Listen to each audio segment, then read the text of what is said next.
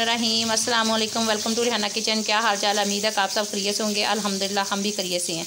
अल्लाह ताला रिस्क में, खानों में अल्लाह ताला बरकत दे और सबके माँ बाप को सलामत रखे। आमीन। तो शुरू करते हैं। आज हम बनाने लगे हैं जाम शीरी। जाम शीरी आज रमज़ान है। रमज़ान में फिर शाम को होता है कि शरबत वगैरह कोई तैयार हो तो इसलिए बच्चों को भी चाहिए, बड़ों को भी सारा दिन रोज़ा रखा होता है। तो इसलिए आज हम जो रेसिपी आपके साथ शेयर करने लगे वो जाम शीरी बनाने लगी वो आपके साथ शेयर करती हूँ। जिसके लिए मैंने एक जग जो है ना, वो मैंने पानी का ले लिया है।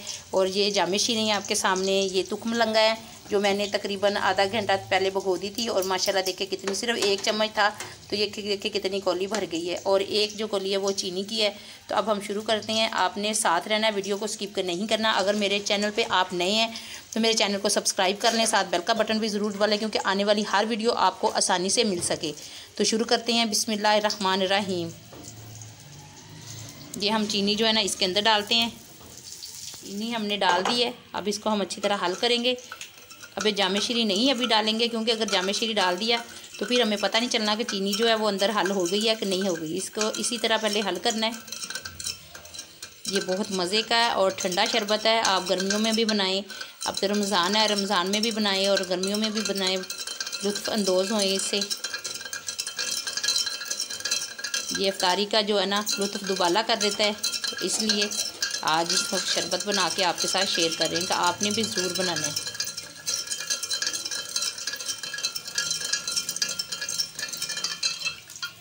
हो गई है, अब हम इसके अंदर जामे शीरी डालेंगे। हिसाब के मुताबिक आपने चीनी भी डालनी है, जैसे आप कम ज़्यादा पीते हैं तो कर लें, और जामे शीरी भी अपने हिसाब के मुताबिक कितना आपने कलर डार्क करना है या लाइट करना है।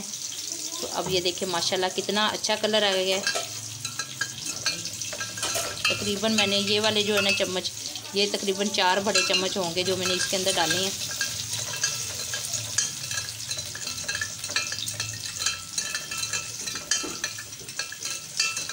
अब ये डाल अब जो शरबत की जान है, वो हम इसके अंदर डालेंगे, वो है तुखम लंगा इससे बहुत अच्छा और बहुत टेस्टी बन जाता है, ये हम इसके अंदर डालेंगे। बिस्मिल्लाह तुखम लंगा डाल दिया, अब इसको हमने अच्छी तरह हल करना है।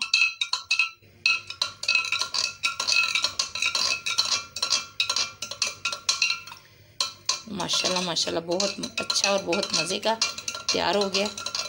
अभी तो इसके अंदर बर्फ़ डालने की ज़रूरत नहीं है, क्योंकि माशाल्लाह रमज़ान इतना अच्छा मौसम है, रमज़ान आया है तो हमें रोज़ा रखने और अफ्तार करने तक कोई पता ही नहीं चलता प्याज भूख का। तो और माशा जितना मर्ज़ी काम करो, इबादत करो, लेकिन कोई पता नहीं चलता कि हमने रोज़ा रखा है कि नहीं रखा। अल्लाह ताला आगे भी ऐसे ही रमज़ान ठंडा रखे और अल्लाह ताला सबको हिम्मत दे। अब हम इसको करते हैं डिश आउट।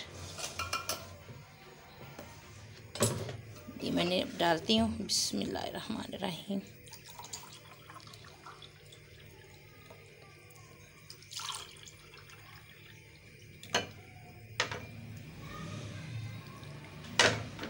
माशाल्लाह माशाल्लाह, देखिए कितना अच्छा कलर आया है।